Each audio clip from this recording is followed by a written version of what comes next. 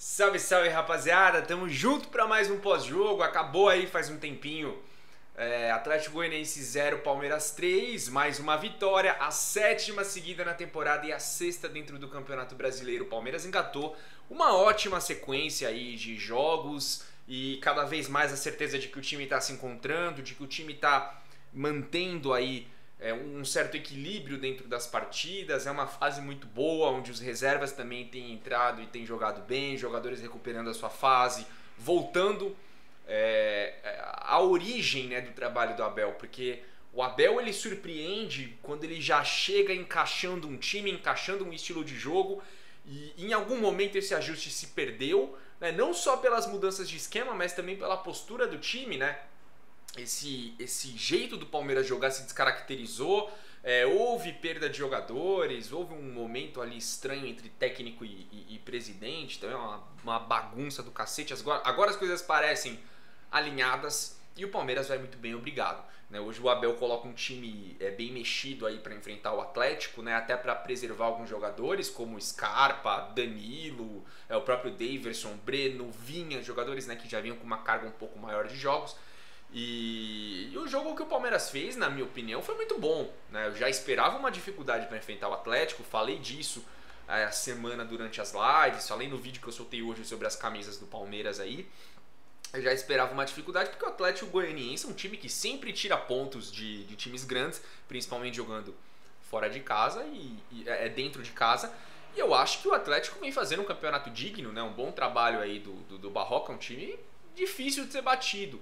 É, e, e, o jogo foi difícil pra gente, né?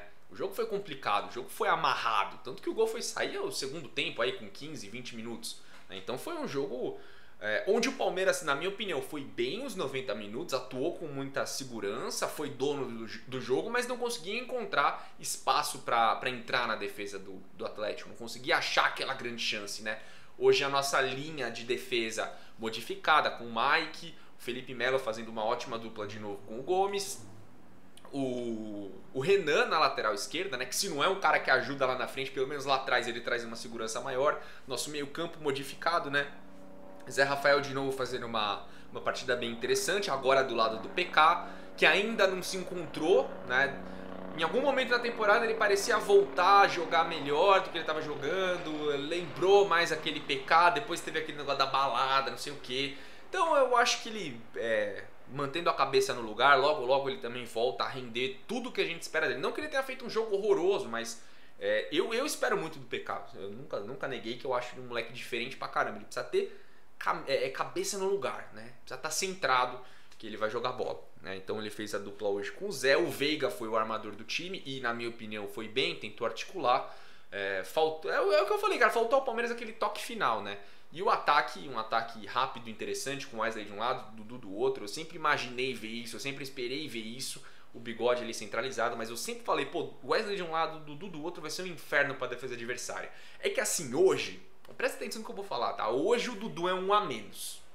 Por que, que o Dudu é um a menos? Porque tá muito longe do Dudu que a gente espera. Isso é natural, tava lá no Albilau jogando com um monte de bêbado, né? A exigência é diferente, os treinos são diferentes, é outro mundo, completamente outro mundo. Então ele volta pro Palmeiras agora, ele vai precisar se encontrar e para se encontrar precisa justamente disso, de minutos, precisa jogar, jogar, jogar, jogar. Logo ele vai ser o Dudu que a gente espera de novo e vai melhorar demais a qualidade do nosso ataque, o, o leque de opções do Abel. O Dudu é, uma, é um bálsamo você ter nesse time aí, né? Então é que hoje ele tá, tá, tá totalmente diferente, né? É outra rotação, é um Dudu muito, muito aquém do que a gente espera, mas é normal, né? É, quem achava que o Dudu já ia chegar destruindo, né? Tava com a expectativa muito alta. Bem, ele quase fez um gol no começo do jogo, a bola desvia, né? No cruzamento que ele tentou fazer, quase encobriu o goleiro ali com um minuto de jogo. Mas foi basicamente isso, né? Agora, quem levou perigo foi o Wesley. O Wesley foi um, um, um cara que deu mais trabalho para a defesa do Atlético. Mas é como eu falei, rapaziada, no primeiro tempo, para mim, o Palmeiras, desde o começo, foi dono do jogo, mas faltou aquela jogada, faltou aquele último passe, faltou aquele último capricho para de fato sair na frente. No segundo tempo, o jogo também dando aquela amostra de que seria amarrado, mesmo o roteiro do primeiro tempo. Aí, numa jogada do Wesley, ele cruza para dentro da área, o bigode divide com o zagueiro Eu não vi, tá? Se o juiz deu gol pro bigode, deu gol contra. Também não vi nada depois do jogo, não vi coletiva do Abel, não vi porra nenhuma. Mas foi gol contra, né? O... Eu não sei nem se o bigode chegou a resvalar na bola. Mas o zagueiro com certeza, né? O goleiro ainda quase pegou. Aí saiu aquele, aquele primeiro gol. E aí o Abel, né? O que, que ele fez? Ele entrou com um time alternativo. Esse time estava dando resultado porque estava vencendo.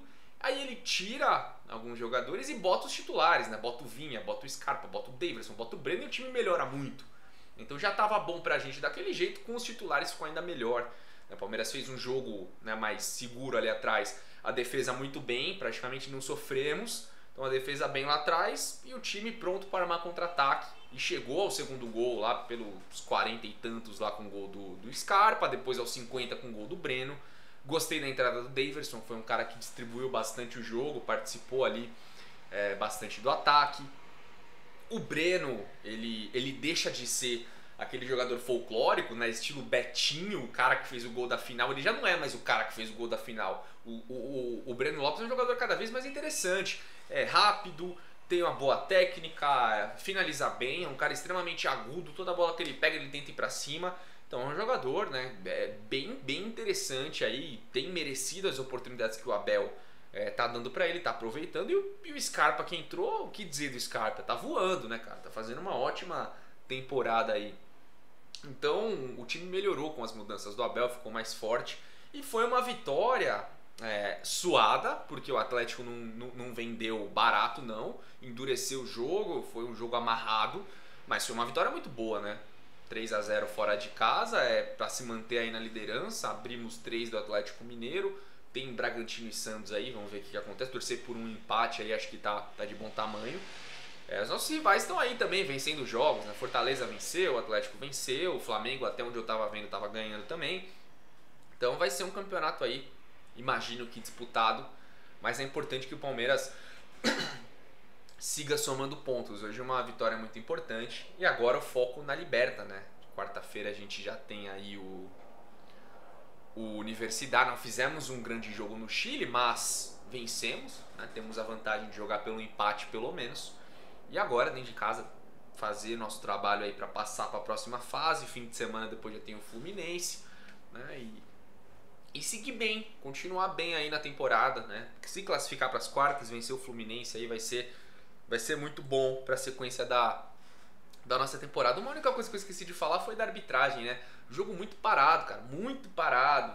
É para pra ver, para caçar pelo em ovo, pra achar pênalti. Ele parou para ver uns dois lances dentro da área do Palmeiras que, pelo amor de Deus, cara, o VAR demorar aquele tempo todo para ver uns lances que, sabe, tem nem pé nem cabeça. O gol também, uma demora para ver a questão do impedimento. Pô, se você vê ali o replay pela segunda vez, você já entende que o Davidson saiu do campo de defesa, você já entende que o cruzamento e o Scarpa estavam na mesma linha. Então é umas, é umas coisas que, que vai deixando né, o jogo chato, né? Fica muito amarrado, é muita paralisação. Não que a arbitragem tenha sido ruim, acho que não, em lance capital não, interferiu em nada, mas esse negócio toda hora ficar vendo uns lances meio, né? É, é cansativo. Mas é isso, rapaziada. Boa vitória aí mais três pontos na conta. E seguimos, seguimos, né? Tamo junto aí. Um abraço para todo mundo e semana aí, o início da semana, a gente tá aí de volta todo dia com as lives. Boa semana, valeu, tamo junto e fui!